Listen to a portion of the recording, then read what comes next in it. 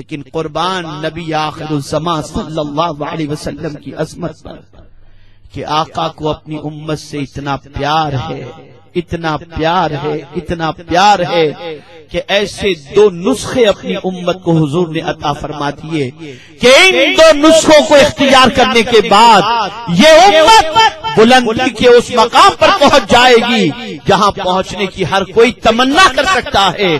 اور وہ دو نسخے ہیں۔ علم اور اخلاق۔ مسلمانوں، سب کے دامن کو تھام کر علم کی طرف پیش قدمی کرو۔ آج علم کے راستے میں سب سے زیادہ اگر کوئی روڑے اٹکاتا ہے، تو وہ شیطان اٹکاتا ہے۔ اس راہ کے اندر بڑھو۔ اور اس کے بعد تم خود محسوس کرو گے، جیسے جیسے علم آتا جائے گا، ویسے ویسے جبین نیاز بارگاہ سمجھیت میں چپتی چلی جائے گی۔ جو زیادہ علم والا ہوگا، وہ زیادہ خدا کی بارگاہ میں جھکنے والا بھی ہوگا۔ اور جو زیادہ علم والا ہوگا، وہ زیادہ صبر کا دامن تھامنے والا بھی ہوگا۔ اس لیے آپ دیکھو، میرے آقا سے لے کر صحابہ کی زندگی اور اولیاء کی زندگی، تو آپ کو یہ دو چیزیں ان کی زندگی میں نمایاں طور پر نظر آئیں گی۔ اللہ اکبر کیوں نظر آئے گی؟ اس لیے کہ سب سے زیادہ اللہ نے کسی کو علم عطا فرمایا۔ تو میرے آقا صلی اللہ علیہ وسلم کو اور ان کی عطا سے صحابہ کے پاس علم آیا، ان کی عطا سے تابعین کے پاس، اور ان کی عطا سے طب تابعین کے پاس۔ تو پھر ہم دیکھتے ہیں کہ ہمارے وقت کے امام امام اعظم رات کے عشاء کے وضو سے فجر کی نماز ادا کرتے نظر آتے ہیں۔ غوث اعظم چالیس سال تک عشاء کے وضو سے فجر کی نماز ادا کرتے نظر آتے ہیں۔ اور ان کو نرم بستروں پر چین نہیں ملتا، مسلح پر سجدے میں چین ملا کرتا۔ لیکن آج مسلمانوں کی پوزیشن بڑی خستہ ہو چکی ہے۔ اولیاء کرام، انبیاء کرام علیہ السلام والسلام کی بارگاہ سے استغاثہ نہ شرک ہے نہ بدعت ہے۔ یقیناً اللہ نے ان کو مدد کرنے کی قوت عطا فرمائی لیکن ان کی زندگی کا اگر ہم جائزہ لیں، تو وہ بھی اپنے ماننے والوں کو اس بات کی تاکید کرتے نظر آتے ہیں میں نے خود سرکار حضور مفتی اعظم ہند علیہ رحمہ کو دیکھا ہے کہ جب ان کے پاس کوئی پریشان حال آتا عرض کرتا، حضور مجھے کوئی تعویذ عطا فرمائے، روزی میں تنگی ہے، تو پہلا سوال پوچھتے تھے، پہلی بات جو کرتے تھے وہ یہی کرتے تھے، بیٹا، پانچ وقت کی نماز کی پابندی کرو، مصیبتیں خود بخود دفع ہو جائیں گی۔ خود بخود رفع ہو جائیں گی۔ خود بخود ختم ہو جائیں گی۔ آج ہماری پوزیشن یہ ہے کہ کوئی ناپاکی کا بہانہ بناتا ہے، کوئی مصروفیت کا بہانہ بناتا ہے اور نہ جانے کتنے بہانے۔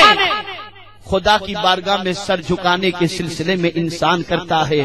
نتیجہ یہ ہوا کہ جب خدا کی بارگاہ میں سر جھکانا چھوڑ دیا گیا تو اب کاسے گدائی لے کر غیروں کے دروازے پر انسان بھیک مانگتا نظر آتا ہے۔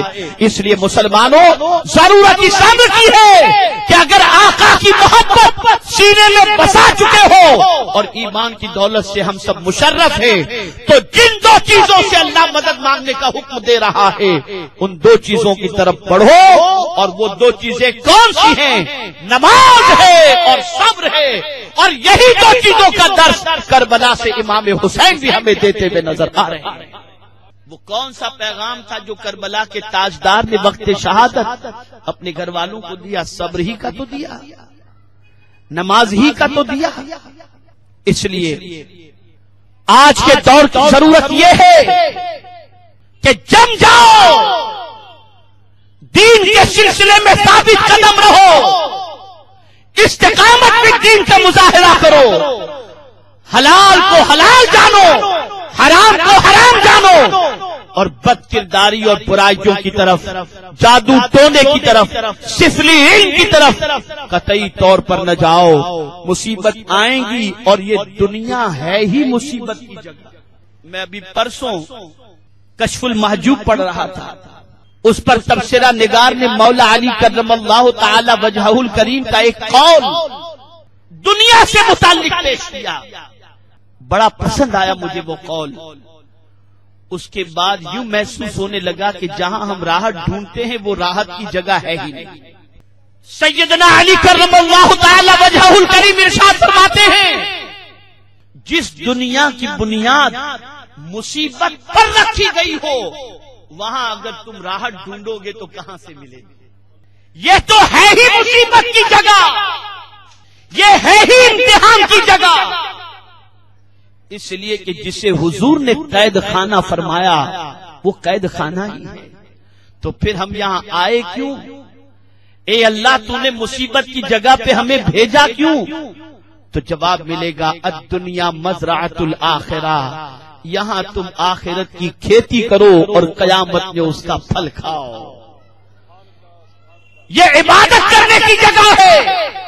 یہ اطاعت کرنے کی جگہ ہے۔ بس ایک آخری جملہ۔ بس آخری جملہ۔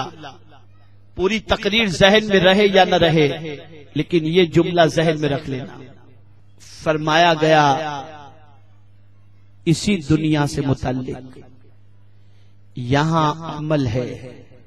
دنیا میں کیا ہے؟ عمل ہے، حساب نہیں۔ یہاں عمل ہے، حساب نہیں۔ آخرت میں حساب ہوگا، عمل نہیں۔ یہاں عمل ہے، حساب نہیں ہے۔ اور وہاں حساب ہوگا، عمل نہیں ہوگا۔ تو ظاہر سی بات ہے، حساب خدا کو دینا ہے۔ عمل ایسا کرو کہ حساب آسان ہو جائے۔